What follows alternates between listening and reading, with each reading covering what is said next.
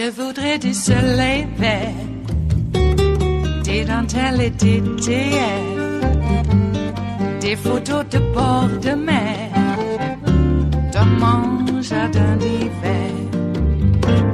Je voudrais de la lumière, comme en Nouvelle-Angleterre. Je veux changer d'atmosphère dans mon jardin d'hiver.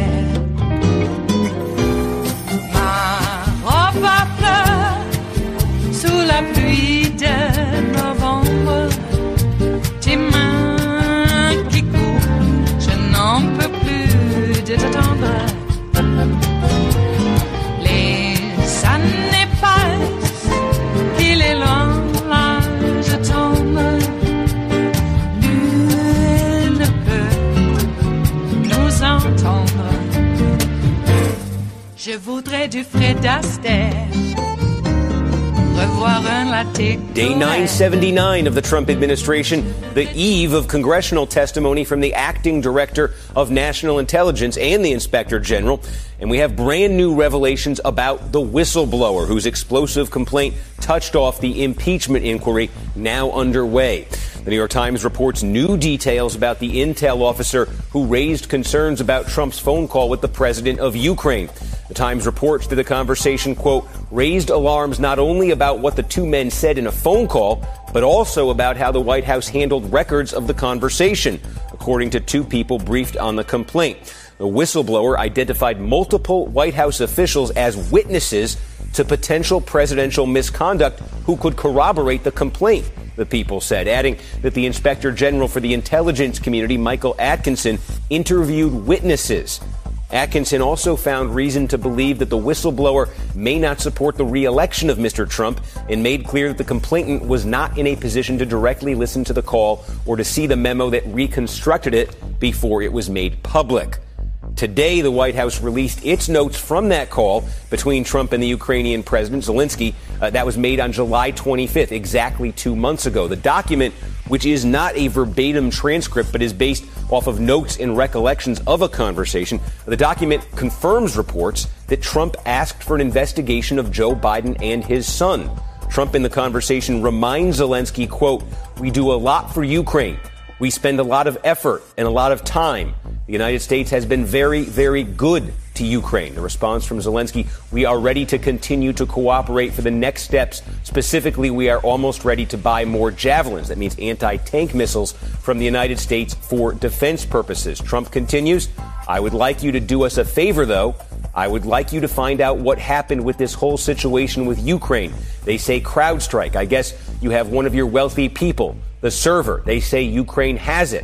He then mentions William Barr. I would like to have the Attorney General call you or your people, and I would like you to get to the bottom of it. President Trump then brings up Rudy Giuliani, his personal attorney. Quote, Mr. Giuliani is a highly respected man. I will ask him to call you, along with the Attorney General. Rudy very much knows what's happening. If you could speak to him, that would be great. There was a lot of talk about Biden's son, that Biden stopped the prosecution, and a lot of people want to find out uh, about that. So, whatever you can do with the Attorney General would be great.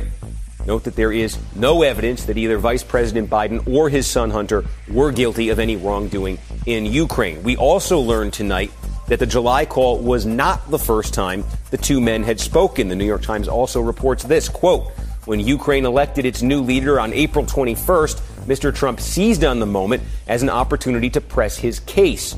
Within hours of Mr. Zelensky's victory, Mr. Trump placed a congratulatory call as he was en route from his Mar-a-Lago resort in Florida to Washington. He urged Mr. Zelensky to coordinate with Mr. Giuliani and to pursue investigations of corruption, according to people familiar with the call, the details of which have not previously been reported. Late today, Trump spoke out about the impeachment investigation, his phone call in July, and efforts to make the whistleblower's complaint public. I've spoken with leader Kevin McCarthy and the Republicans, many of them, and we were going to do this anyway, but I've informed them, all of the House members, that I fully support transparency on the so called whistleblower information. The witch hunt continues.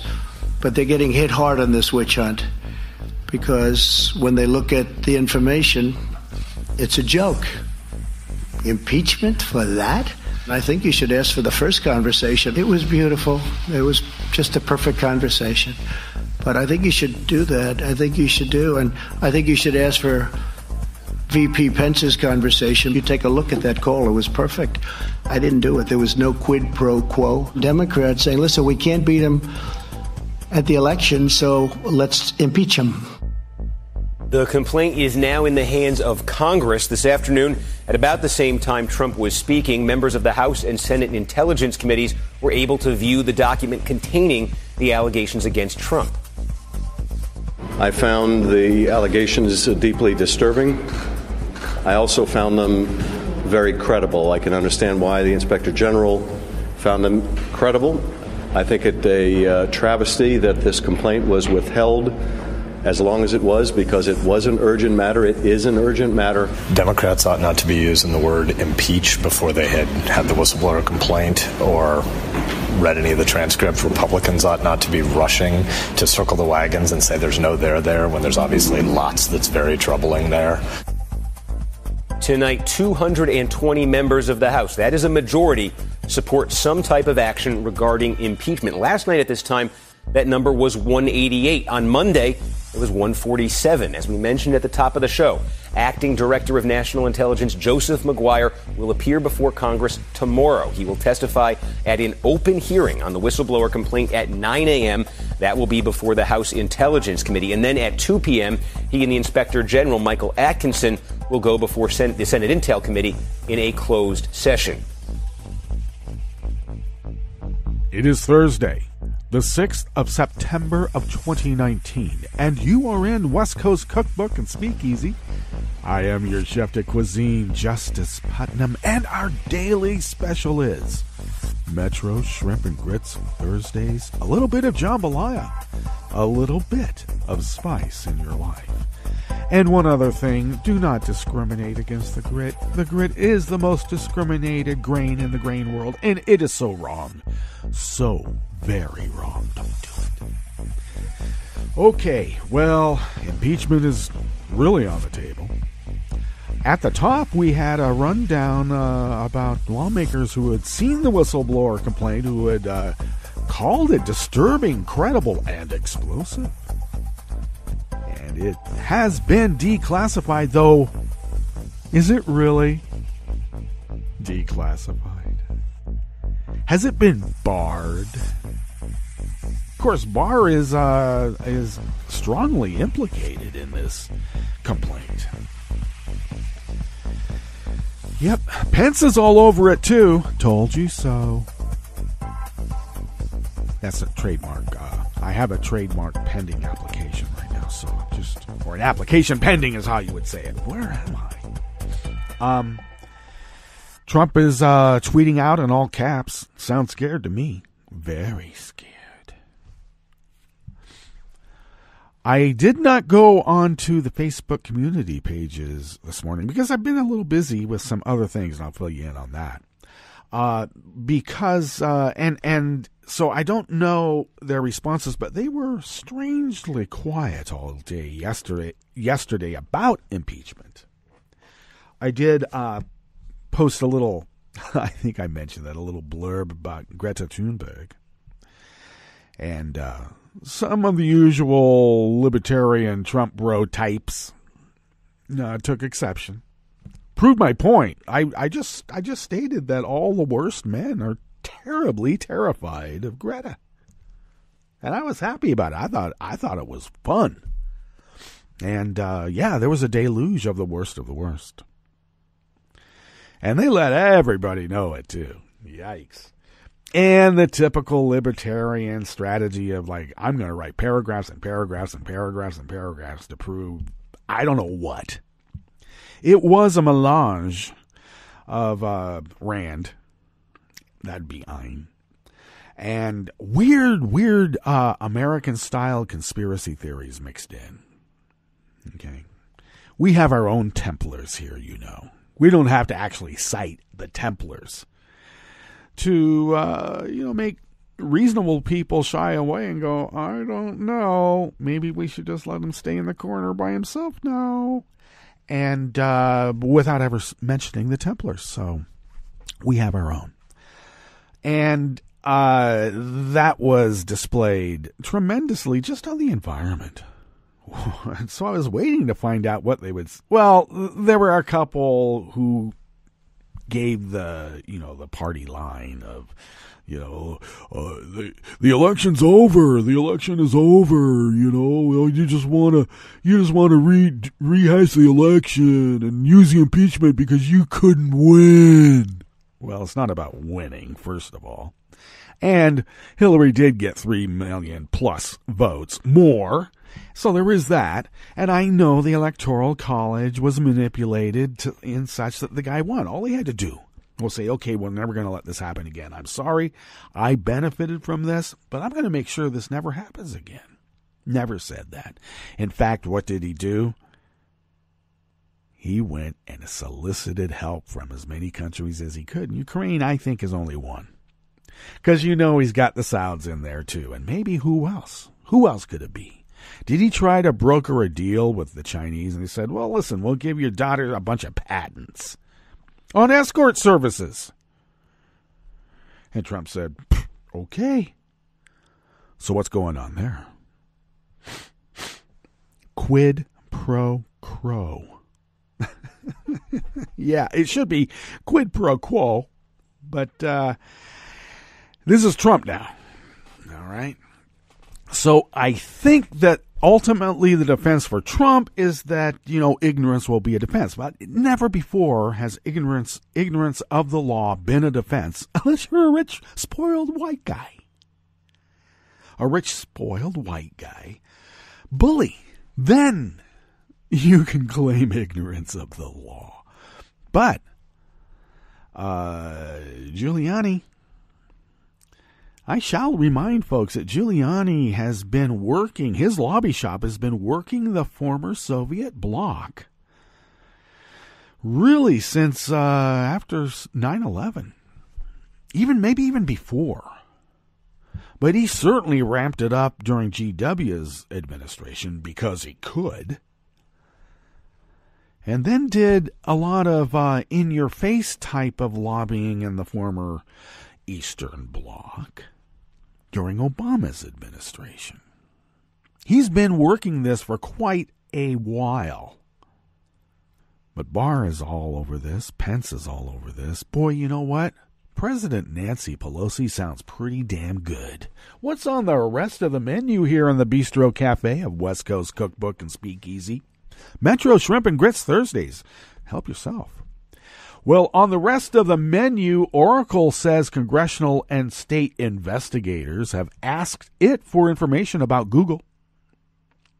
California and 16 other states sued the Trump administration over weakened protections for endangered species. And right after a call for impeachment, and right after Mitch McConnell said, Oh, yeah, you can look at the whistleblower complaint. In fact, maybe we'll release it and declassify it like they did this morning. right after that, the Senate voted to terminate Trump's national emergency for his border wall again.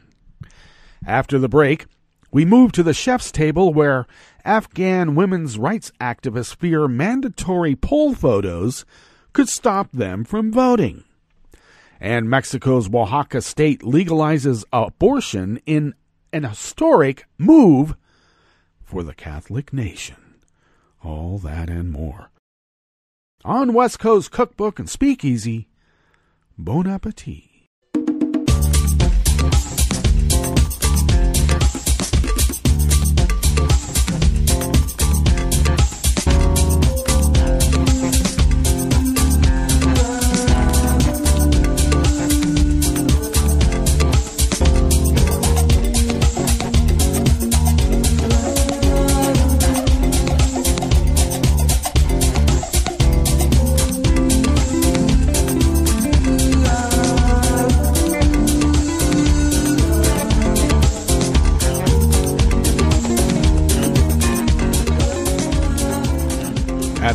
Bottom of our homepage at netrootsradio.com. To the rightish of the page is the chat room link, and the chat room is monitored by Kelly Lincoln, and we thank Kelly for doing so.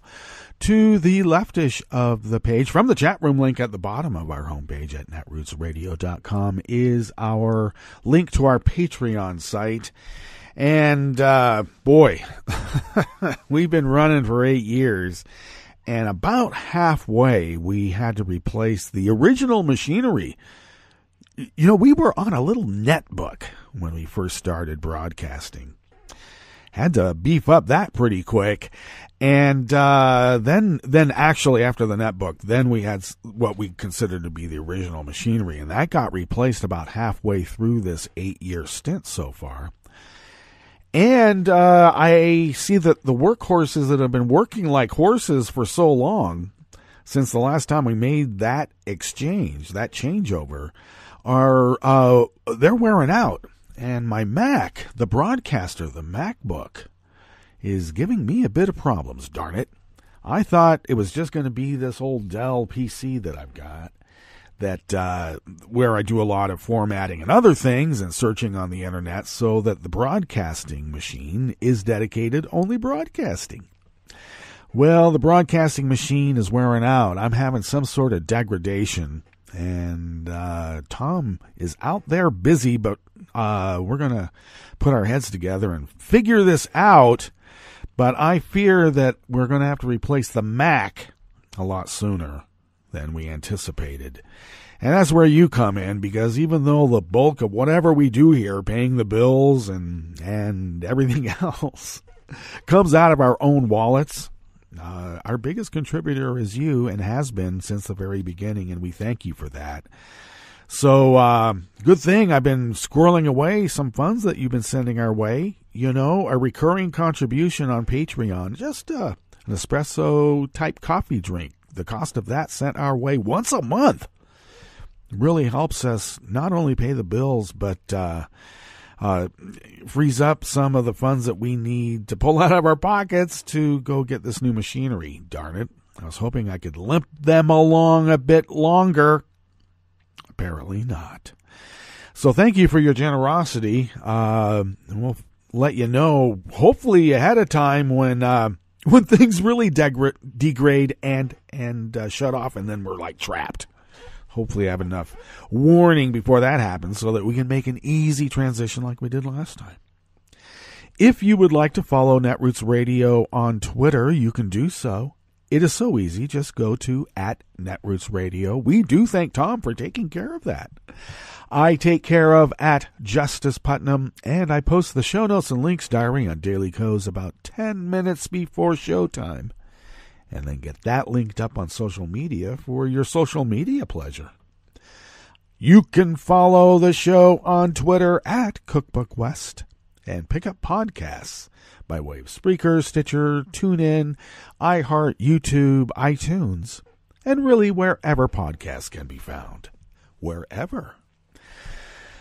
Okay, let's see here. Um, now, once I uh, put myself in that proverbial bubble where I just have to shut off, you know, possibilities for the curated newsread each day, um, I do know that the DNI has started testifying at the top of David's show. So I am somewhat unaware. I can see some things when I'm roaming about, but I pretty much shut it off. I don't. I dare not link up because I don't have time. so uh, I do know that the DNI has been testifying. I don't quite know how that's going, but I will find out. The whistleblower, or no, I'm sorry, the IG will be testifying, of course, in closed session, as uh, was specified at the top there by Kornacki and uh, I guess that would be at 2 p.m. Eastern. So that makes it uh, what 11? Mm, no, 11 p.m. here on the West Coast. So uh, there is that, and uh, we'll have more on the IG uh, testimony. Hopefully, uh, you know that would be kind of nice to see something about that in open session. I would also say that I am not terribly happy about, oh, we're going to just do the uh, impeachment on the Ukrainian story because there's a little bit more involved in this impeachment proceeding. We don't need to, to impeach him on every single crime. But you know, a half dozen or, or a little more? Please. We're going to throw everything into the Ukraine story so that they can manipulate it. They already are. But there's a lot of obstruction of justice uh, uh, involved in some other aspects, not just the Ukraine issue. So I hope that uh, as these rules are being uh, set down, that uh, that is kept in mind. Also, don't go on recess in two weeks. What the hell? You have an impeachment proceeding to do. I know you need to go home and campaign. Use this aspect as part of your campaign. You know already I told you, Trump is already fundraising off of this. Do the work, and you will be rewarded. Okay, let's get into this first offering here in the Bistro Cafe of West Coast Cookbook and Speakeasy Metro Shrimp and Grits Thursdays by Diane Bartz out of Reuters.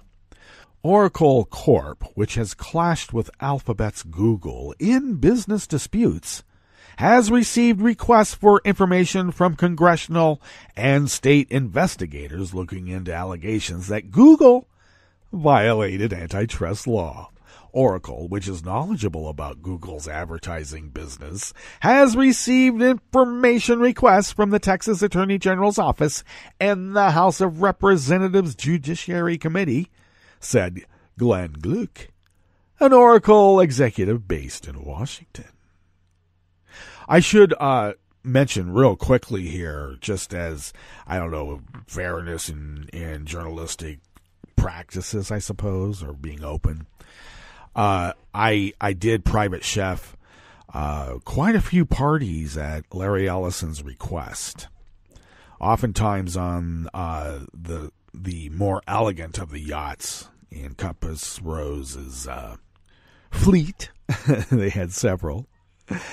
Uh, yeah, it would it would have been the Camelot. For those of you who may be uh, familiar with the uh, nautical vessels plying the San Francisco Bay, and also uh, at his place down on the peninsula a few times as well. Really, you know, actually, Ellison is a pretty nice guy, but uh, you know, to me, I w- when I first met him, I you know sort of vaguely heard of Larry Ellison I didn't really, I wasn't into the gossip part of all of it.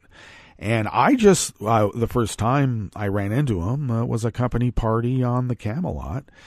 And he came into the galley because, you know, people were allowed to roam the boat. And he came into the galley and started talking to me. And I just figured he was just somebody working at Oracle. And he was. so I don't know. Maybe because I wasn't deferential because I was kind of busy. I was trying to get my job done too, and you know, speak with the guests. But uh, he uh, he personally requested that I do quite a few parties for him, and uh, but that doesn't mean that you know he might be sort of a you know special fellow, kind of greedy. You never know. An iconoclast, at least. Okay.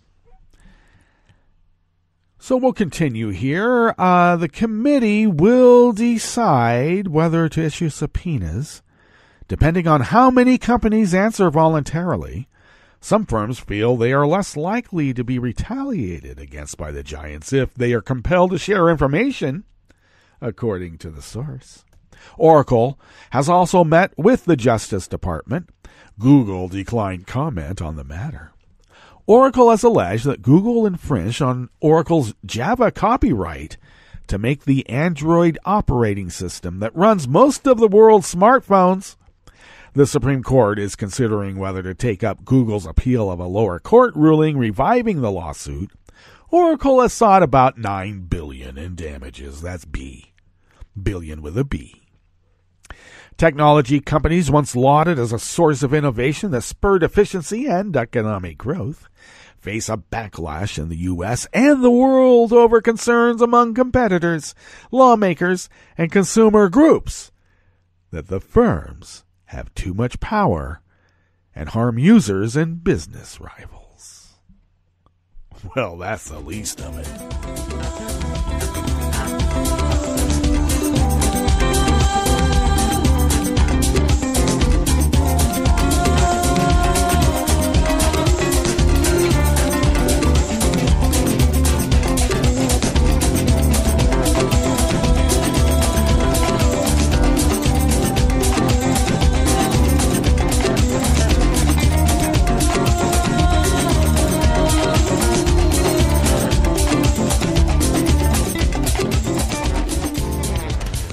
Nichola Groom, also of Reuters, brings us this next offering here in the Bistro Cafe of West Coast Cookbook and Speakeasy Metro Shrimp and Grits Thursdays.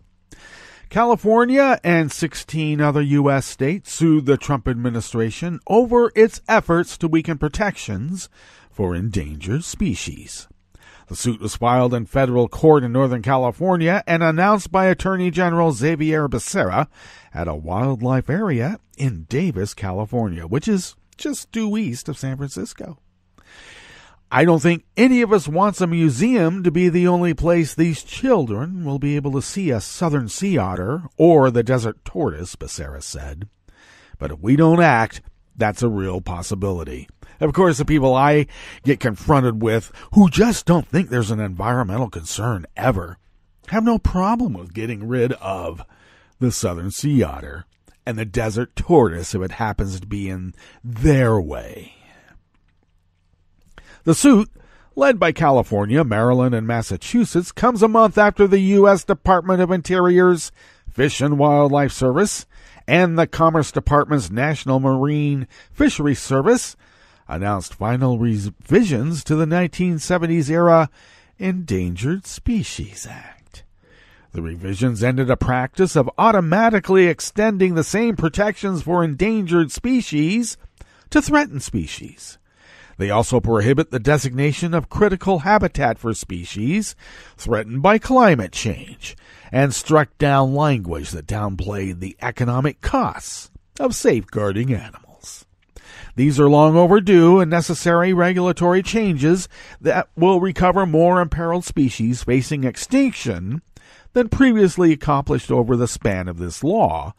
And that was Department of Interior spokesman Nick Goodwin said in an emailed statement.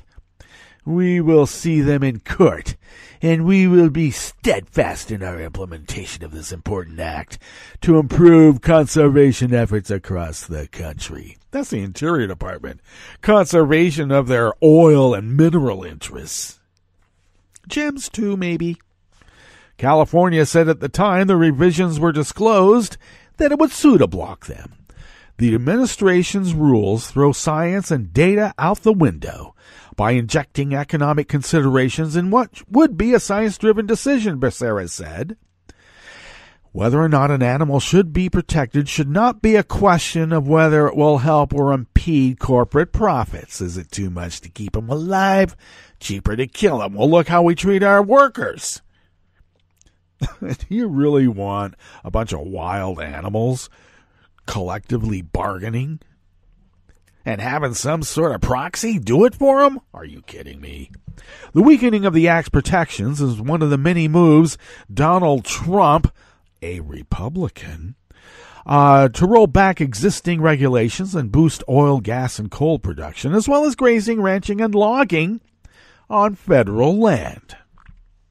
In addition to Massachusetts and Maryland, California is joined in the suit by Connecticut, Colorado, Illinois, Michigan, Nevada, New Jersey, New Mexico, New York, North Carolina, Oregon, Pennsylvania, Rhode Island, Vermont, Washington, and the cities of Washington, D.C. and New York, New York.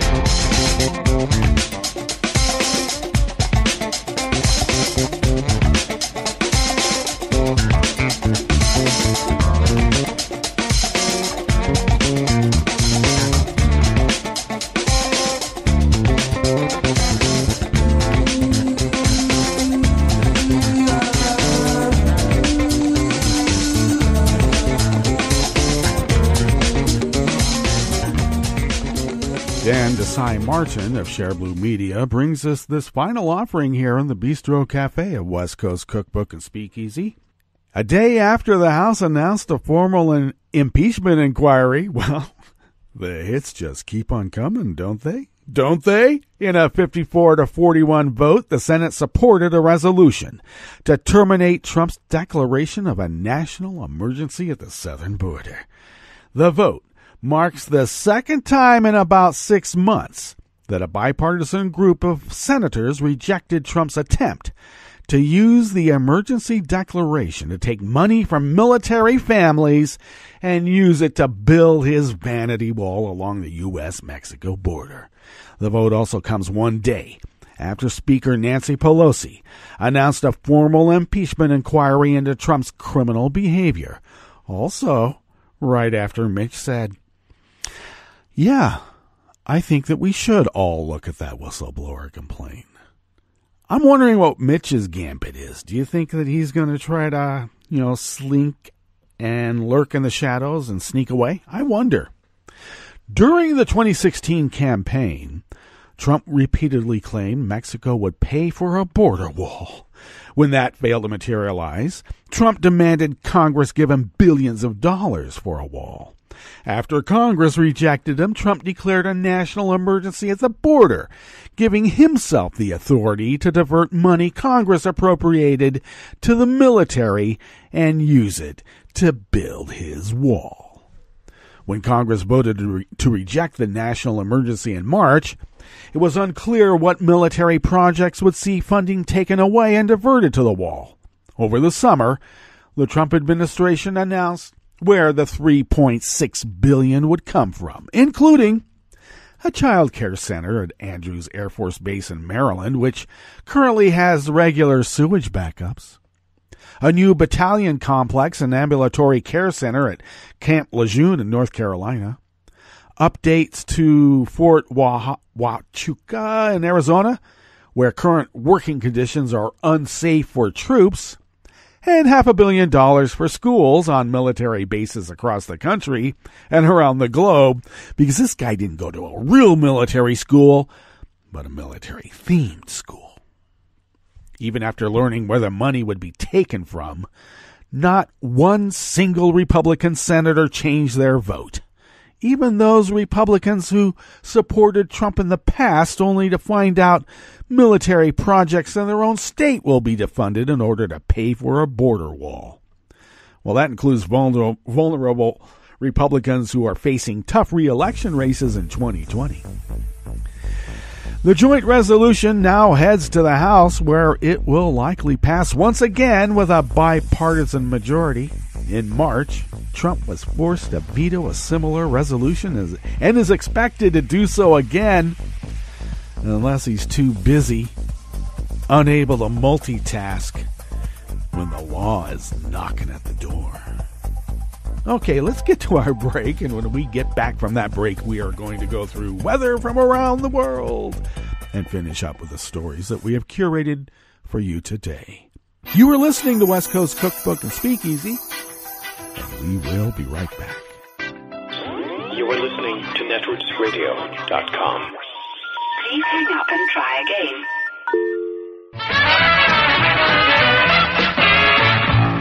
From a point at sea to the circles of your mind, a new force is at work for planetary transformation.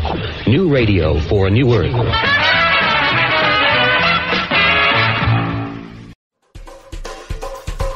This is Scientific American's 60 Second Science. I'm Susanne Bard. Every culture around the world creates music, but what shapes our perception of music? Two candidates are the limits of the human brain and the exposure we've already had to music during our lives. If we only test participants with experience with Western music, then we really can't know whether these features come from the experience or from the biological constraint. Psychologist Nori Jacoby of the Max Planck Institute for Empirical Aesthetics.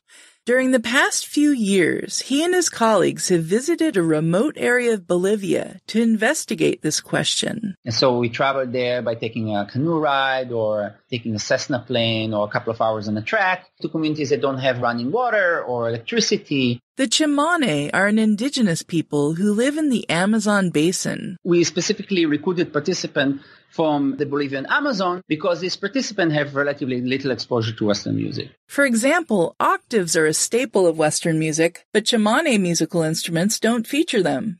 As an acoustical phenomenon, an octave is defined as the interval in which the vibrational frequency of the bottom note is half that of the top note. They're considered the same note an octave apart. For example, middle C and high C. For the study, Chimane participants were asked to listen to simple melodies and sing them back to the researchers.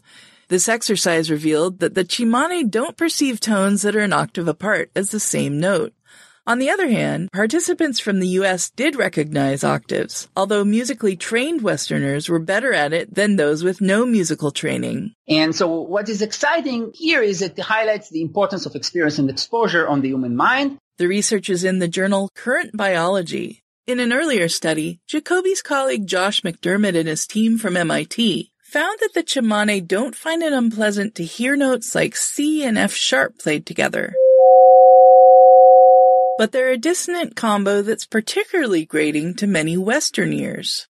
Despite the evidence that experience influences pitch perception, biology is also a factor. Jacoby says the new study also revealed that both Westerners and the Chimane have trouble distinguishing between really high notes above 4,000 hertz, even though human hearing goes all the way up to 20,000 hertz. And that may be because, no matter where we're from, we hit the limits of our brains before we reach the limits of our ears. Thanks for listening. For Scientific American's 60 Second Science, I'm Susanne Bard.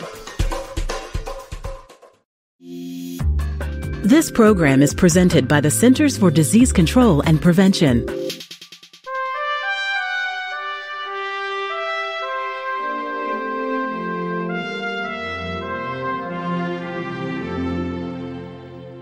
Welcome to A Cup of Health with CDC, a weekly feature of the MMWR, the Morbidity and Mortality Weekly Report. I'm your host, Dr. Kathleen Dooling. Occasional aches and pains are an expected part of life, but for many people, pain is a constant companion. Dr. Chad Helmick is with CDC's National Center for Chronic Disease Prevention and Health Promotion. He's joining us today to discuss ways to manage chronic pain. Welcome to the show, Chad. Thank you. Chad, how many people in the U.S. suffer from chronic pain?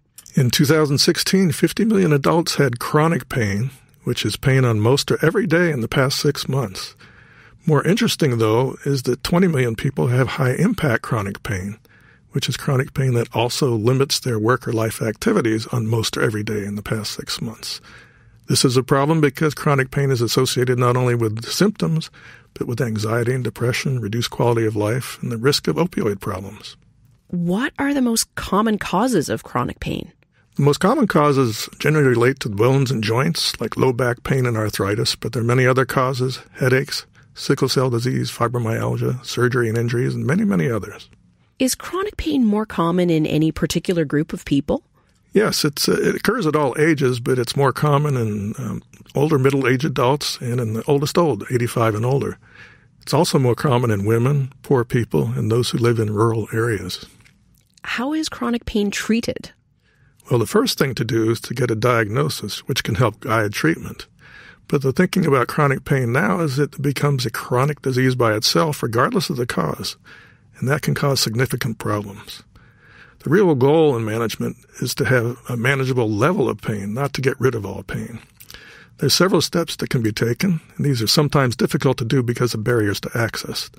But it makes sense to do the simplest and safest things first.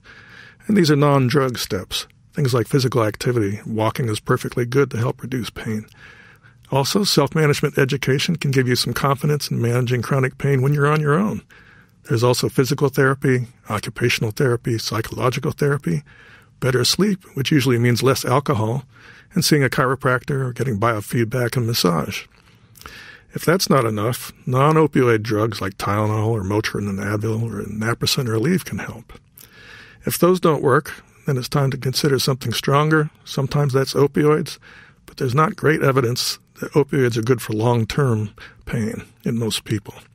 Do you have any advice for people suffering from chronic pain? Well, it's important to work with a variety of providers who are working together to help you. Uh, the goal, again, is manageable pain so you can live a productive life. This can include physical therapy, most people can walk, to treat any underlying depression or anxiety, and to avoid further injuries. Finally, the National Pain Strategy is laying out a strategic roadmap to improve pain management system in this country. Where can listeners get more information about managing chronic pain? Listeners can go to the NIH website, nih.gov, and type in National Pain Strategy. Thanks, Chad. I've been talking today with Dr. Chad Helmick about ways to manage chronic pain. If you're experiencing daily pain, talk with your healthcare provider to ensure you have the correct diagnosis and know how to manage your condition. Until next time, be well. This is Dr. Kathleen Dooling for A Cup of Health with CDC. For the most accurate health information, visit cdc.gov or call 1 800 CDC Info. Hi, it's Tom.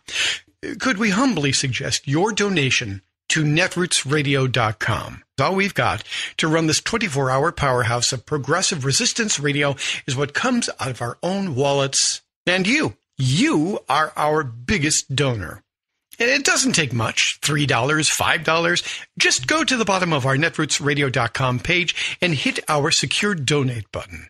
Heck, you can even make a recurring contribution and you'll get a wondiferous pair of Netroots radio stickers for application to your backpack, your bumper sticker, or your banjo. Well, it's up to you which backpack you want to put it on.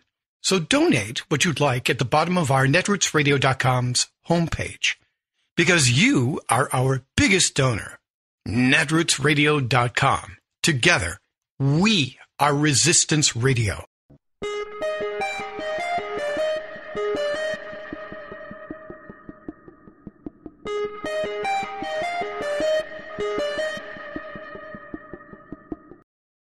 Is President Trump regularly violating the anti corruption provision of the Constitution called the Emoluments Clause? I'm Bill Newman, and this is the Civil Liberties Minute. Emolument is a fancy word meaning profit, gain, or compensation. And Article 1, Section 8 of the Constitution, in sweeping language, prohibits any person who holds a federal office, that includes the president, from profiting from his office, that is, from receiving an emolument. Trump, profiting from the patronage of persons seeking favors from administration who are at the same time spending huge sums at his hotels, has spawned numerous lawsuits alleging his violation of the Emoluments Clause. The Emoluments Clause case brought in New York federal court initially was thrown out, but recently was reinstated by the Court of Appeals, and that case now proceeds. However, another case with a similar legal claim has been thrown out by the Fourth Circuit Court of Appeals. And in the District of Columbia, a very similar case brought by congressional Democrats also is headed to that circuit court. This first ever constitutional controversy may well be headed for the Supreme Court, which may or may not actually make a decision. After all, the High Court just decided in the case of blatant partisan gerrymandering that it would not, and no federal court could, fashion any remedy for that corrupt, democracy destroying practice. The Civil Liberties Minute is made possible by the ACLU because freedom can't protect itself. I'm Rick Smith, and this is Labor History in Two. On this day in labor history, the year was 1786. Daniel Shays led a group of farmers in an armed uprising. They were angry about taxes levied by the state of Massachusetts. Shays had been a captain in the Continental Army during the American Revolutionary War. After the war, an economic downturn hit farmers hard. During the Revolutionary War, many Massachusetts residents had few assets other than their land. After the war, European businesses refused to extend lines of credit to businesses in Massachusetts. The Europeans insisted on payment of goods in hard cash. Massachusetts businesses, in turn, demanded that their own customers pay with hard cash. Rural farmers could not comply. Farmers began to lose their land when they could not meet their debt and tax obligations.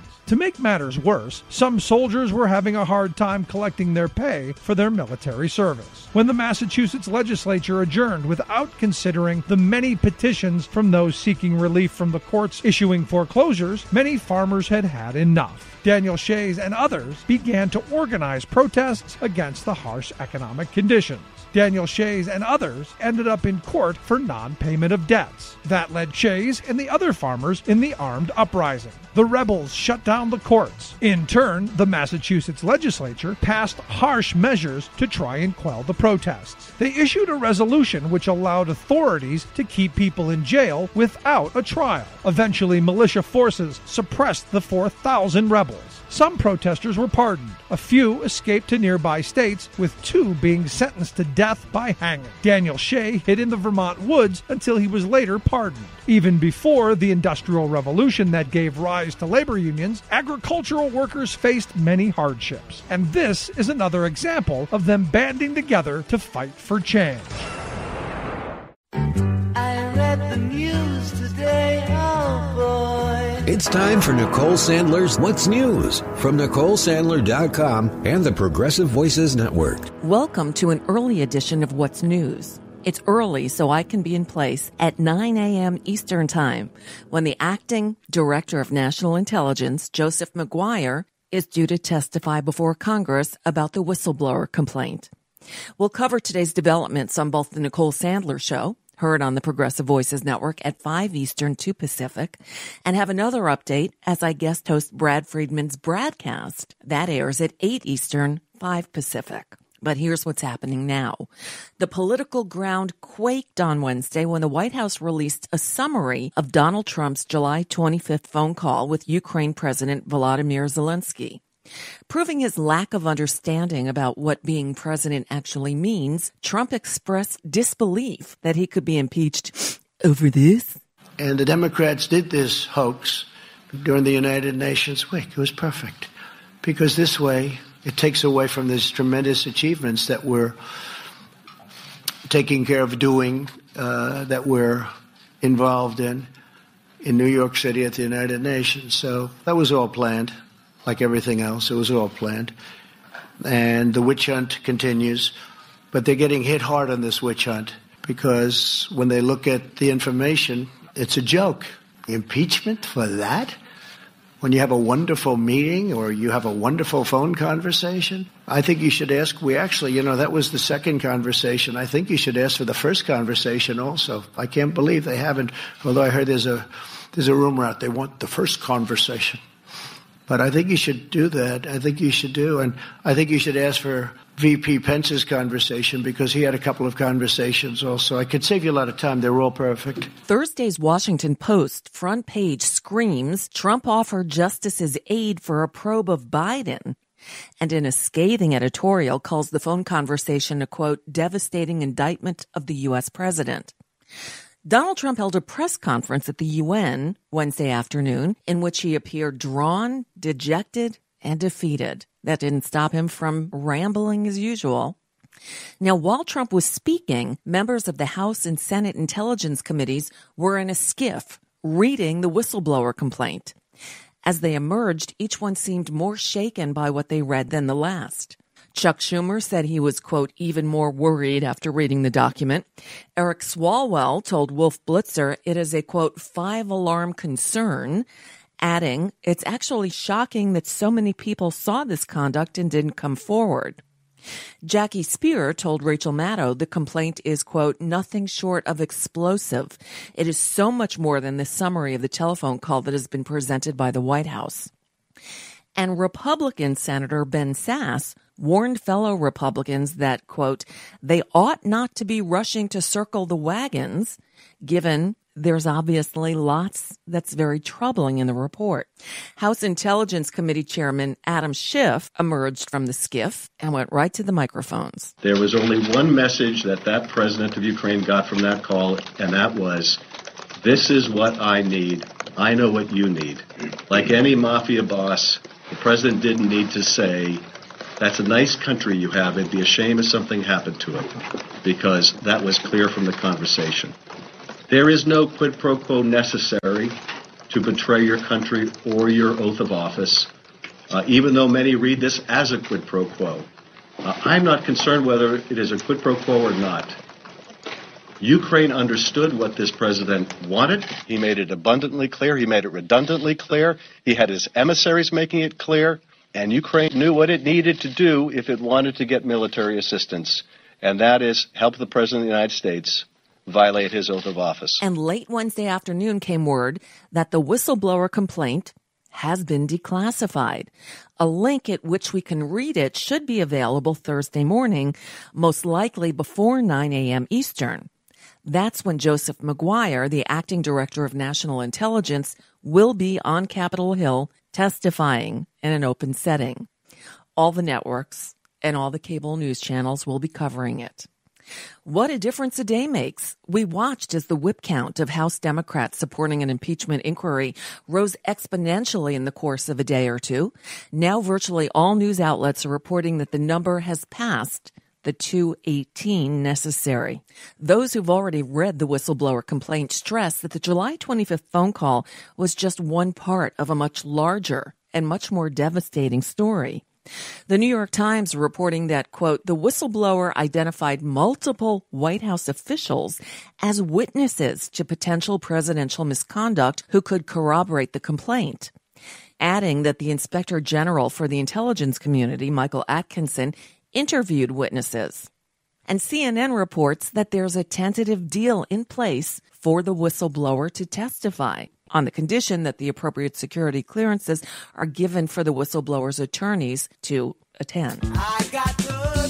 And that's just a bit of what's news for now. I'm Nicole Sandler. For updates on this story, be sure to tune into the Nicole Sandler Show this afternoon at 5 Eastern, 2 Pacific, and to the broadcast, which I'm guest hosting again tonight, at 8 Eastern, 5 Pacific, here on the Progressive Voices Network.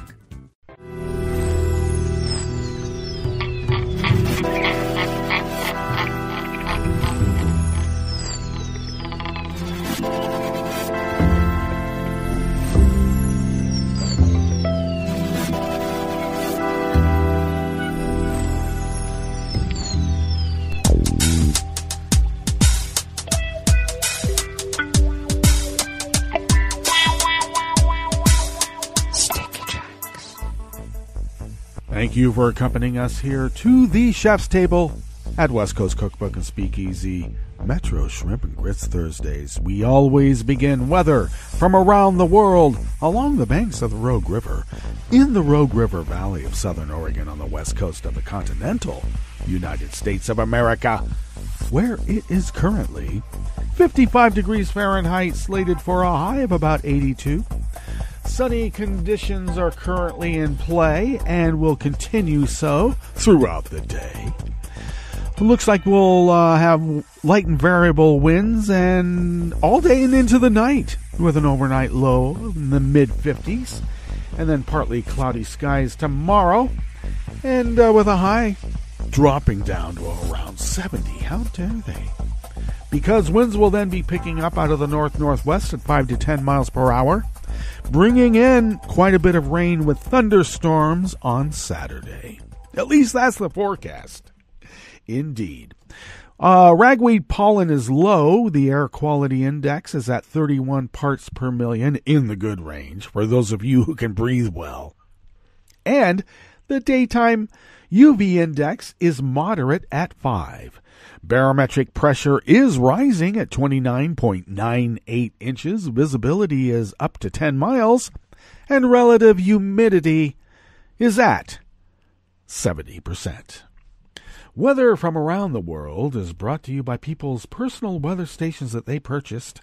These people planted these purchased personal weather stations somewhere on their property, and these people positively live around the world.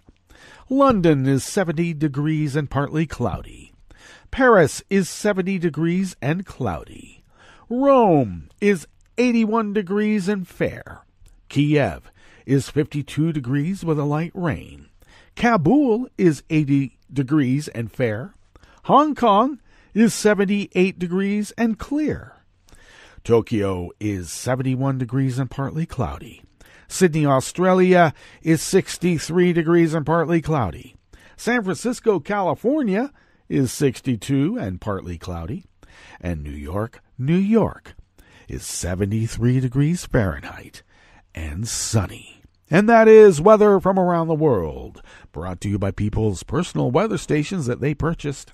These people planted these purchased personal weather stations somewhere on their property And these people positively live around the world.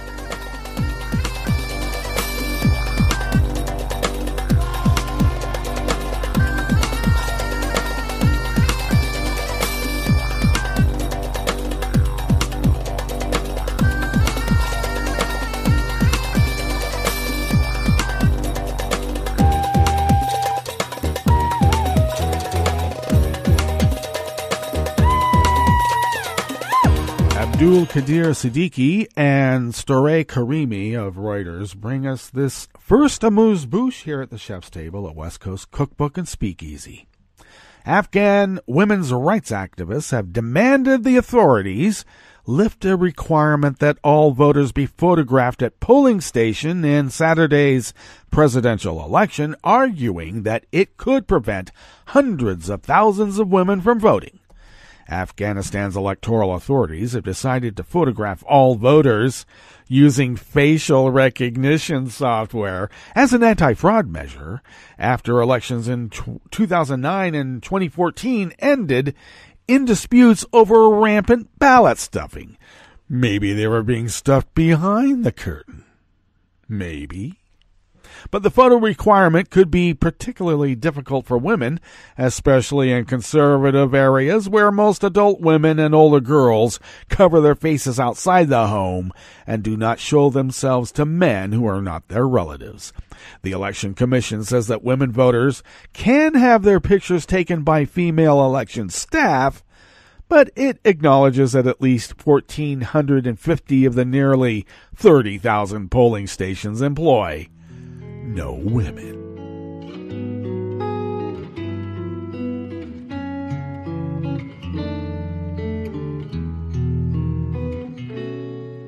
Je te donne ce mon amour pour la vie entière. La promesse de me trouver à tes genoux. Aussitôt que tu m'appelles, rester toujours fidèle c'est tout, c'est tout. Je te donne tous mes printemps, mes étés de mer, mes automnes quand les feuilles tombent partout. Si ce n'est pas une bonne affaire, je te donne tous mes hivers, c'est tout. Anonymous worker bees at Reuters bring us this final amuse bouche here at the chef's table at West Coast Cookbook and Speakeasy. The Mexican state of Oaxaca approved a bill to legalize abortion, making it only the second region of the predominantly Roman Catholic country after Mexico City to permit the procedure. Amid raucous shouts of protest from opponents, the local Congress voted by 24 lawmakers in favor to 10 against to allow abortions during the first 12 weeks of pregnancy in Oaxaca, a southern state that has long been among Mexico's poorest. The state Congress is dominated by the leftist National Regeneration Movement of President Andres Manuel Lopez Obrador, who has avoided taking a clear stand on abortion. Approval of the measure came just a few days after Lopez Obrador sent a bill to the federal Congress that would grant an amnesty to women serving jail terms for abortion. Outside of the Mexican capital, which legalized abortion in 2007, the procedure has been illegal in all states until now, except under certain circumstances, such as rape. All right, that brings us to the end of our broadcast period for the day. But you do know that Netroots Radio is going to broadcast on, and we're going to meet up tomorrow for Blue Moon Spirits Fridays because we are all Nighthawks in the Diner of Life. So do stay tuned to Netroots Radio all day and all night for all the breaking news as it breaks. And we'll meet up here tomorrow, right here in West Coast Cookbook and Speakeasy. Bon appetit.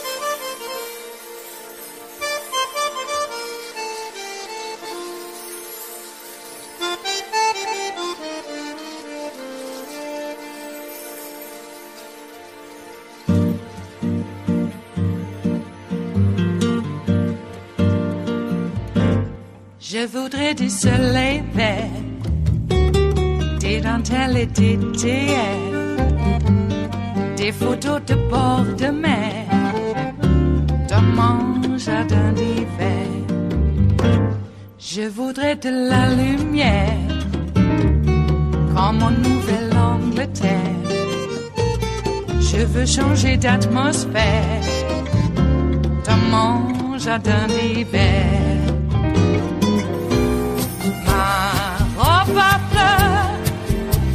La pluie de novembre. Tes mains qui courent, je n'en peux plus de t'attendre. Les années passent, il est loin, là je tombe. Nul ne peut nous entendre. Je voudrais du Fred Astaire, revoir un latte. Je voudrais toujours te plaire dans mon jardin d'hiver. Je veux déjeuner par terre, comme au long de golfe clair.